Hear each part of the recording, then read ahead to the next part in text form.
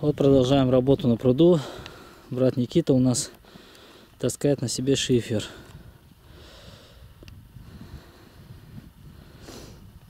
Он берет лист шифера и тащит.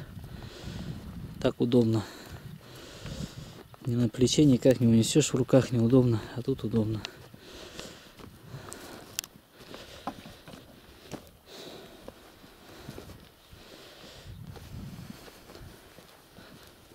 О, Никита как Самсон. В газе, где он там ворота вырвал и, говорит, на своей спине уволок. Вот как в человека превращать надо. Труд. Он из обезьяны, говорит, сделал человека. Не знаю, удастся или нет, но, по крайней мере, видишь, как он одетый, как солдат. Это настоящий воин растет. А тут лютует бешеный поп. Вырвать его. Им тяжко смотреть, когда человек Богу служит, как должно. И у них главное что? Ну ладно, что-то не так. Ну а ра- поражу пастырь рассеет соус. Это от кого? О ком сказано? Я вас не поражаю. Ваш волчатник, я знаю, клеветнический. Вы вокруг меня крутитесь и поразить, чтобы вырвать кого-то. Доказательств никаких не надо. Это вы делаете, а не я. Поражу пастыри, рассеют соусы. Что-то не так где-то против меня идет. Но я-то для них духовный считаюсь. Они обратились в университетах, по радио выступал, в милиции.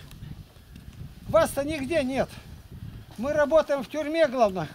Работая 17 лет. 17 лет. И ни один человек у меня не обратился. Ни один. Почему? Они не готовы. Поп пришел полупьяный, немытый, грязный. Говорит, а что он так воняет, поп-то? Я могу фамилии все назвать. А он не протрезвился пьяный. 470 человек причастил. Может, 200 крестил в один день. Так дискредитировать, профанировать веру ни, никто не может, как попы. И они лезут на меня, лезут, валом идут со всех сторон. Почему? Поражу пастырь рассеются овцы. Это мои овцы. Я родил их благовествованием, Павел говорит. А вы на отцы по названию. Вы никакие не отцы, разбойники. Он приходит убить и погубить. Вырвал из общины человека, допустим, удалось тебе. Еще дальше. Ну дальше ты посмотри на нее. Она выскочила, а дальше-то ничего нету. Она никуда не ходит. Ясно, что это служители С.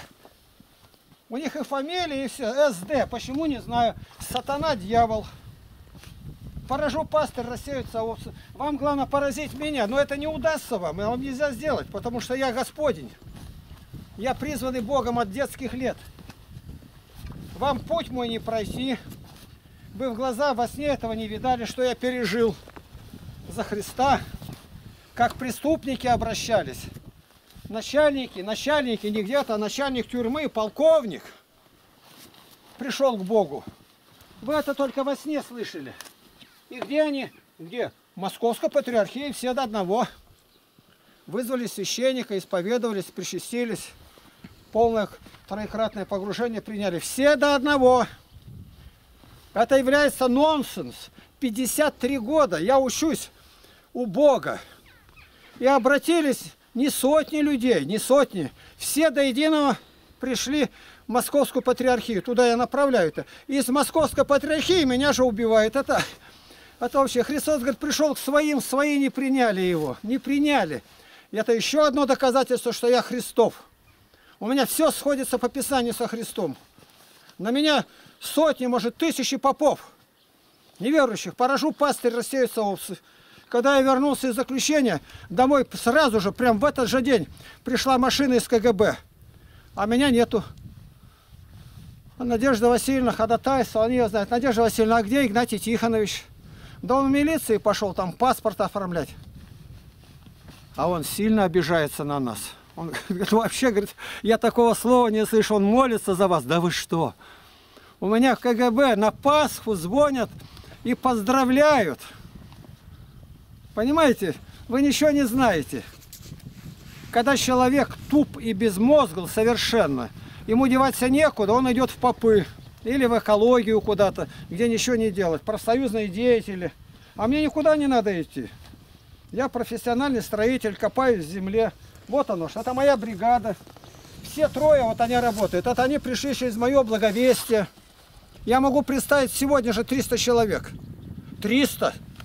И все до одного пришли через мою проповедь. Покажите вы одного, чтобы он не был придурком.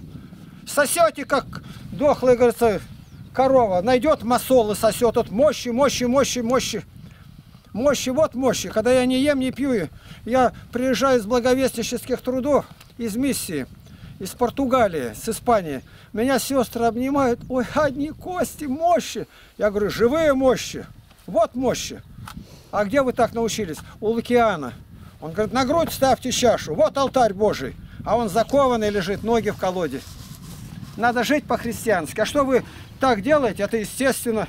На вас обижаться нельзя. Это не вы делаете, а вы через вас, как через сосуды дьявола, сатана делает. Любое ваше движение показывает рога, копыта и хвост. Риза не скроет этого.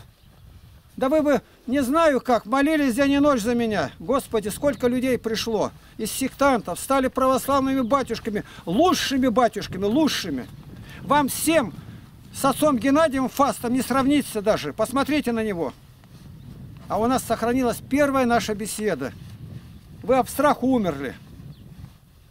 Я приехал однажды в Москву тайно, ночью ко мне пришли, тайно, в советское время три архиерея. Три архиерея на квартире. Я ничего не значу. Это не мое, это Бог. Бог открыл это. И вот он теперь ходит. Смотри, какие листы несет. А то он не целый лист несет. Он дай-ка целый упер. Да, ну да, он целый стоял здесь. Я сказал не трогать, он забыл. Он забывает все. Никита, ты этот лист где взял? Вот здесь? Я говорил, целый не брать. Тащи назад его. Он, Целый? он говорит, нет. Нет, ну смотри. Вот какие дела-то. Это каждый день я могу показывать и показывать. Вот детский лагерь. Вот еще до перестройки у нас был. 44 года. Тысячи детей на этом костре были. Сохранились песнопения, видеозаписи, когда поют. Это новые люди. Да, мало. Конечно, мало. Ну а где сказано, что многие спасаемые? Мало спасаемых, званых много, а надо звать. Звать. Купели, когда строите. Ни одной не были, когда я начал хлопотать об этом. Всем архиереям писать везде. Они этого не знают. Вам худо то, что вы нападаете. Помогайте мне. Вам помогать, а в чем помогать? А злословить людей, гоняться за Невзоровым, помогать Чаплину. Смешно было бы Дворкину. Просто горе одно. Во славу Божию.